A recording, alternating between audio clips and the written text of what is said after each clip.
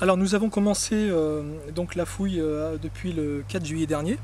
euh, sur une emprise, qui concerne en, fait la, la, KVA, c'est-à-dire l'espace qui recevait les, gradins en bois du théâtre. Et cette emprise justement concerne les, trois premiers murs concentriques,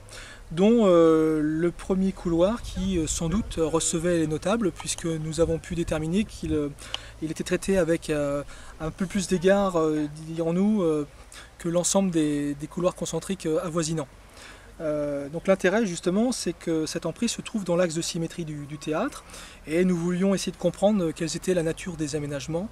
euh, qui euh, avaient été vus une, première fois en 1995 euh, au cours des, dernières campagnes de fouilles dans l'orchestra, à savoir une sorte de dallage qui permettait en fait de faire communiquer l'orchestra et le premier mur concentrique. Donc nous avons pu mettre en évidence que du moins les, niveaux du- l'un des derniers états, sans doute au cours de la fin du deuxième siècle.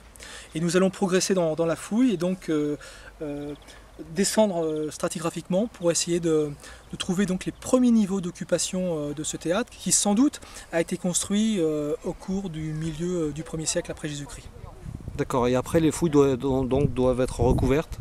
Alors évidemment, d'une part, d'un point de vue de la protection, il est nécessaire de, de- de recombler évidemment les vestiges pour, pour éviter la dégradation euh, qui pourrait être assez rapide de, ces murs.